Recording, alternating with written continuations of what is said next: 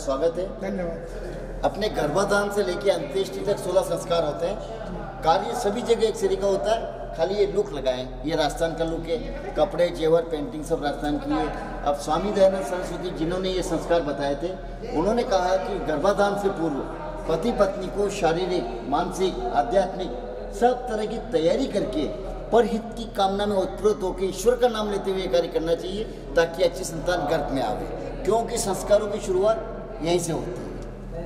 पुष्प संस्कार गर्भ स्थापना के चौथे माह में एक तो गर्भ को बलिष्ठ बनाने के लिए देशी दवाएँ दी जाती है, जो अपने को दादी नानी बता देती है, प्लस पति पत्नी के हृदय पे हाथ रख के आश्वासन दे रहे हैं कि भाई आप अकेले नहीं हैं, अपन साथ में हैं अच्छा भोजन करो, अच्छे विचार रखो, अच्छे लोगों से मिलो, ताकि अपने गर्भ के ऊपर गलत असर नहीं पड़े और समय आने पर अच्छी संतान प्राप्त हो। क्योंकि नौ माह में जो उससे कार्य करती है, सारा असर बच्चे पे जाता है। तो यहाँ पति उनको मोटिवेट कर रहे हैं। पता नहीं। दिया है सीमंतो नयन संस्कार। सातवें मास में पत्नी खिचड़ी खा रही है कि यू? तो पति पूछ रहे हैं क्या देख रही हो? यहाँ तो पति उनको मोटिवेट कर रहे थे या पत्नी खुद पॉजिटिव हो रही है? मैं भगवान का दिया हुआ अच्छी संतान का मुख देख रही हूँ। प्रजाम पश्यामी। यस यस कहते हैं किम पश्यसी प्रजाम पश्यामी? यस बच्चे होने के बाद में माता जी बच्चे को लेके लेट रही है। दाइमा बैठी हुई अटेंडेंट और पिताजी सोने की सलाखा को शहद में डुबो के बच्चे की जीवान पर ओम लिख रहे हैं। ओम का अपने जीवन में बहुत महत्व है। जैसे परमात्मा का प्रथम नाम ओम। कोई पूजा शुरू करते हैं तो ओम नमः शिवाय। कोई उठमने में जाते हैं दो मिनट का मौन होता है। ओम से शुरू होता है ओम शांति में समाप्त होता है। तो आप समझिए होंगे ओम का अपने जीवन में कितना महत्व है। ये महाराष्ट्र का सीन दिया है नामकरण संस्कार। यज्ञ हवन करने के बाद में बच्चे का नामकरण किया जाता है। जी कोवसी कतमोसी कस्यासी कोनामासी। का लुक दिया है। निष्क्रमण संस्कार। अलग अलग राज्यों के लोग ये बहुत अच्छी बात है बहुत सुंदर ये बच्चा गर्भ से आता है ना तो अंधेरे से पानी से आता है। चार महीने इसको पृथ्वी का एटमोस्फियर सेट होने में लगते ये हैं। उस दरमियान सोलह संस्कार सभी राज्यों में चलते हैं सारी इंडिया में चलते हैं। खाली ये लुक लगाए। हाँ लुक है लुक है खाली। तो चार महीने तो उसको घर के अंदर ही रखते हैं क्योंकि उसकी तबीयत ज़्यादा खराब रहती है। और चार महीने बाद जब उसको बाहर निकालते हैं तो दिन में सूर्य दर्शन कराते हैं, रात्रि को चंद्र दर्शन करा रहे हैं। माता जी ओम का उच्चारण करते हुए पृथ्वी को जल छोड़ ये अन्नप्राशन संस्कार है, केरल का लुक दिया है। पहले छह महीने बच्चा माँ के दूध पे रहता है, उस समय उसके लिए पर्याप्त भोजन के लिए फिर उसको भोजन कराते हैं। दाल चावल की खिचड़ी सबसे सुपाच्य होती है। माता जी खिचड़ी लेके बैठी है, पिताजी उसको खिचड़ी खिला रहे हैं।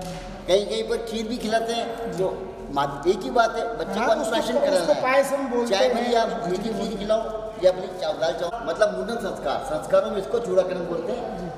पहली बार जो बच्चे बाल उतरते हैं ना मुंडन संस्कार। अब ये किसी के घर पे होता है किसी के मंदिर में होता है किसी के देश में होता है। जहाँ मदर फादर बच्चों के करते हैं अपने को वही करना होता सभी के ही है चाहे उसको जड़ूला बोलो हाँ, ज़रूर बोलो एक एक ही बार एक ही केस। गुजरात का सीन दिया है। कान छेदने से आभूषण तो पहनते ही है।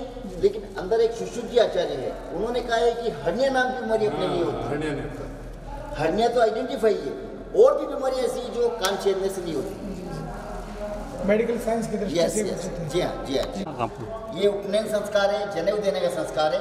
स्वामी जी ने डेढ़ सौ साल पहले महिलाओं को ये अधिकार दिया। उन्होंने कहा महिला भी जनेऊ ले सकती है। इसलिए हमने भी यहाँ महिला को खड़ा किया है। जी। प्लस जनेऊ की जो चार धा, तीन धागे हैं अपने को संस्कार के हिसाब से तीन ऋण उतारने की बात कहते हैं।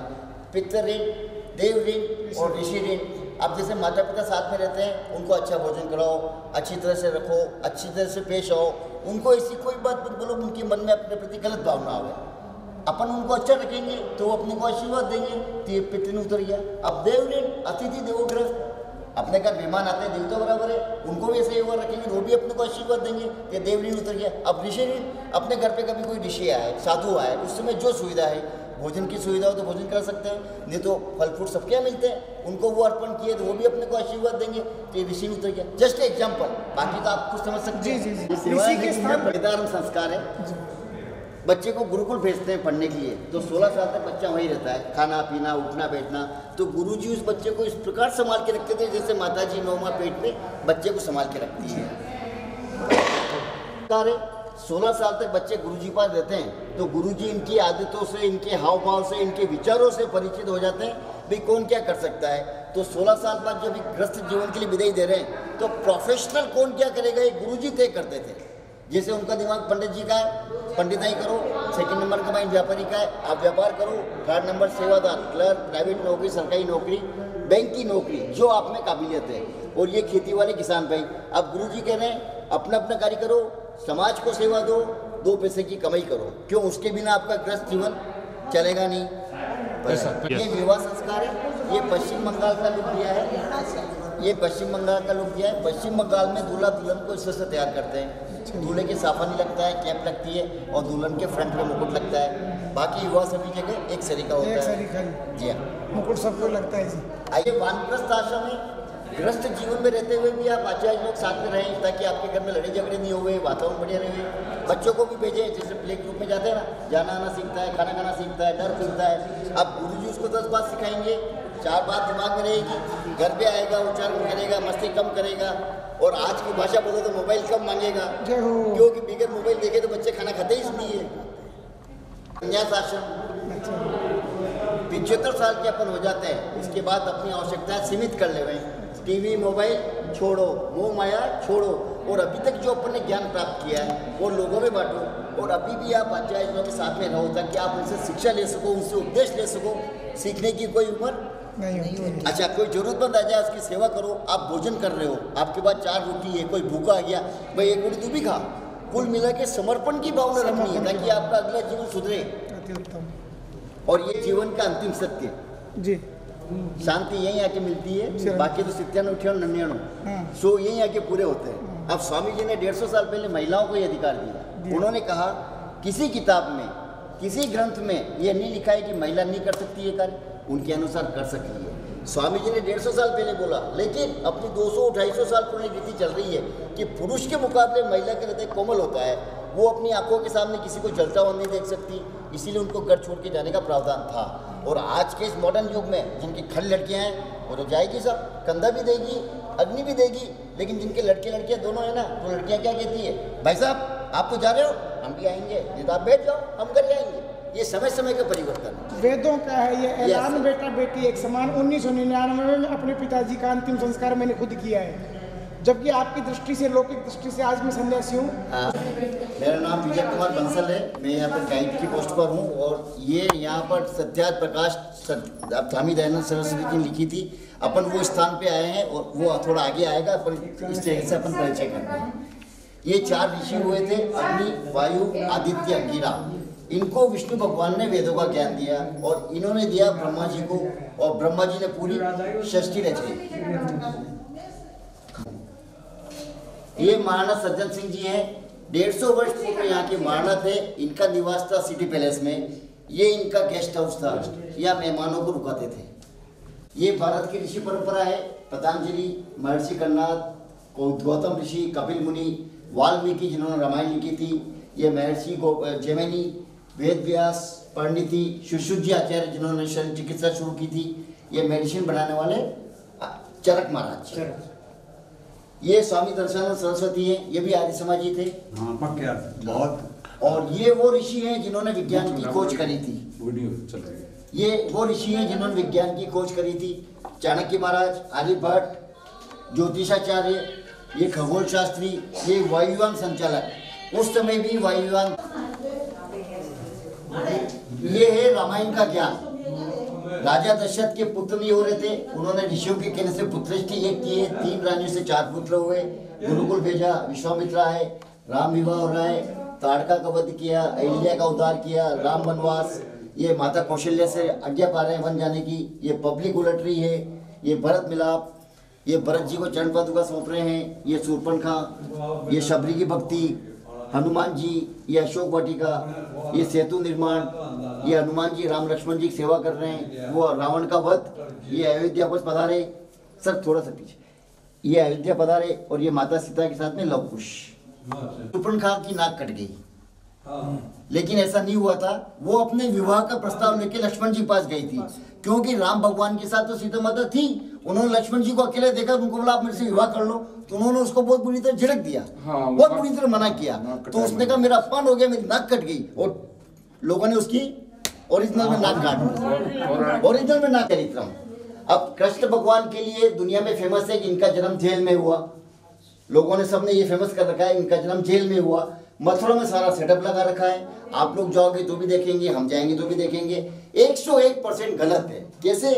कंस ने अपनी बहन बेनोई को महल में नजरबंद कर दिया था, क्योंकि आकाशवाणी हुई थी कि इसकी आठवीं संतान मेरा वध करेगी। सुख सुविधा सब उपलब्ध थी इनको मार डालना जरा मना था। अब आप इसको जेल बोलेंगे क्या? आज जैसे किसी बड़े नेता को जेल होती है तो उसको बारह दिन थोड़ी लगते हैं क्या? एक क्लास होटल में या गेस्ट हाउस में रखते हैं जस्ट लाइक ओके पहले चलते थे ओनली मेवाड़ में। मैं ऑल इंडिया की बात नहीं कर रहा हूँ खाली अपने मेवाड़ में ये सिक्के चलते थे। और चांदी के सिक्के ही। ठीक है ये महाराणा प्रताप का जन्म बाल्यकाल ये भाई शक्ति सिंह से सलाह मशुरा कर ये युद्ध हो रहा है। ये महाराणा प्रताप के घोड़े का चेतक का ये उसके बाद में सलाह मशुरा कर रहे हैं सामंतों से।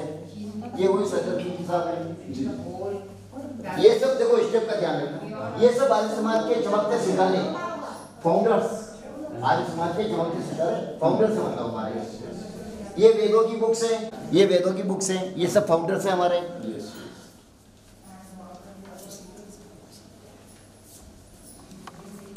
ये सब भी हमारे फाउंडर्स हैं। चमकते सितारे। जी जी। आराम से। ये बाबा जोशी अमरलाल हैं ये भी आर्य समाजी थे। सब सब बाद में रिटर्न में देखेंगे वो। यस, आज़ादी के दीवाने भारत के महान सपूत। ये पहले मुसलमान हैं अरशफुल्ला खान जिन्होंने अपनी आज़ादी के लिए जान कुर्बान करी थी। अब इनमें से बहुत से जनों को अपन जानते ही नहीं है। खाली दो चार पाँच नाम मुँह पे रटे हुए हैं उन्हीं को जानते हैं। जो हिस्ट्री का ज्ञाता है वो सबको जानता है। देखिए आप सबके नाम लिखे हुए सबकी हिस्ट्री लिखी हुई है। कक्ष स्वामी दयानंद सरस्वती सज्जन सिंह जी साहब के बुलावे पर उदयपुर पधारे थे 10 अगस्त अठारह सौ बयासी को। और इसी जगह बैठ के इसी जगह बैठ के वर्ल्ड फ़ेमस किताब सत्यार्थ प्रकाश आदि ऊपर लिखी हुई थी बाकी की यहीं बैठ के कंप्लीट करी थी। और ये इस किताब के चौदह पार्ट है ये चौदह ही पार्ट हमने दर्शाए हैं। और इसी वजह से राजस्थान सरकार ने 110 साल बाद उन्नीस में आर्य समाज को ये जगह सौंपी। कि आप इसको टूरिस्ट प्लेस बना, के लोगों को दिखाइए। ठीक है जी। स्टेप पे ध्यान रखना जीवन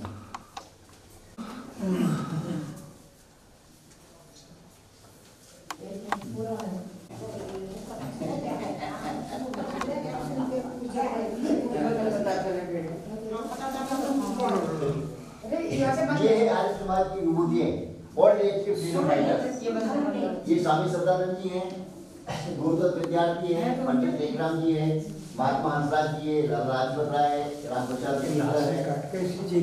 ये जो समाज की कुरीतियाँ थी।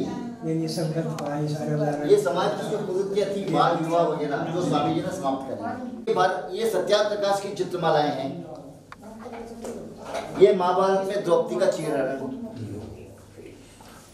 ये सब एक बहुत बड़ी उपलब्धि है। बात चीर जो है वो तो ये एक बहुत बड़ी उपलब्धि है। स्वामी दयानंद सरस्वती जी ने जो किताब हिंदी में लिखी थी बेशक उन्होंने हिंदी में लिखी थी लेकिन अपने वर्ल्ड में चौबीस तरह की भाषा चलती है। हर भाषा में अनुवाद कर रखा है। और आज तक इसके अलावा कोई ग्रंथ चौबीसवीं भाषा में अनुवादित नहीं है। ये बहुत सारी भ्रांतियाँ थी जो स्वामी जी ने चैलेंज किया। लेकिन उसका कोई प्रमाण आज तक नहीं आया अब जैसे कहते हैं, पृथ्वी शेष नाग पे टिकी है। कब तक? क्या नाग बाबू जी की मृत्यु नहीं होगी? उसके बाद क्या होगा? पृथ्वी डोलेगी स्वामी जी ने इसको चैलेंज किया था। ये गलत है। आज तक इसका कोई प्रमाण नहीं आया और स्वामी जी किसी भी गलत चीज़ को स्वीकार नहीं करते थे। ये स्वामी जी का जन्म गुजरात के टंकारा पिताजी धन धान्य से मज़बूत थे। शिव भगत थे। बेटे को भी शिव भगत बना रहे थे।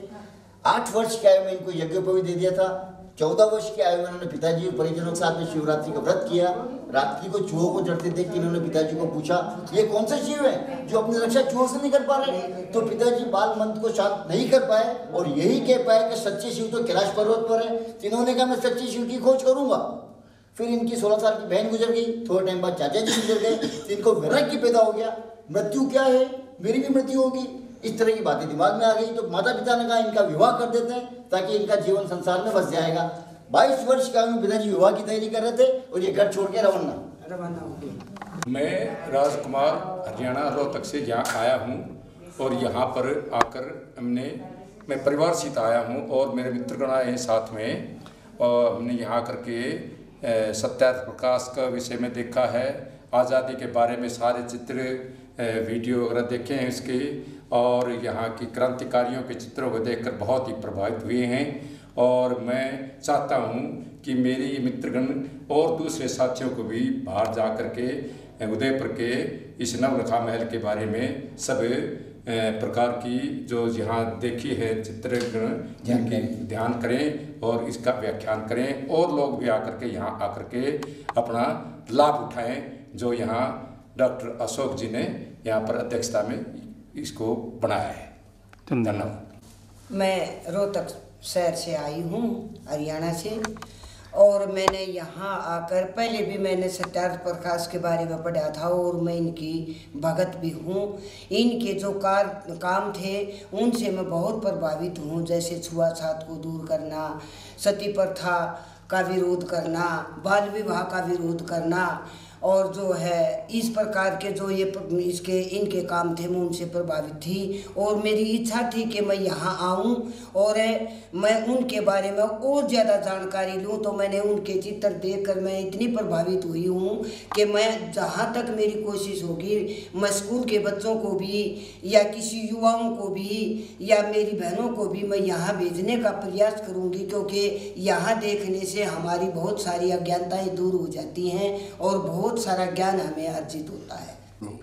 महर्षि जी ने सत्यार्थ प्रकाश इसी महल में लिखी थी और नखा नौ नखा जो महल है उसको देखने के लिए मैं सबको प्रेरित करूँगी और ये बहुत अच्छी शिक्षा देता है। ये मैंने पहली बार देखा है। मैं इससे बहुत प्रभावित हूँ। अशोक जी आगे अशोक जी आर्य ने यहाँ चित्रों का जो इंतज़ाम किया है पिक्चर का जो इंतज़ाम किया है ये देख कर बच्चों को बहुत सारी शिक्षाएँ मिलेंगी इनके बारे में। मेरा नाम विजय कुमार बंसल है। मैं एक वर्ष से यहाँ पर सेवाएँ दे रहा हूँ। और अशोक जी आर्य साहब अशोक जी आर्य साहब के निर्देशन में ये सारा कार्य हो रहा है जो उन्होंने बहुत ही बढ़िया मेहनत करके ये काम लगाया है।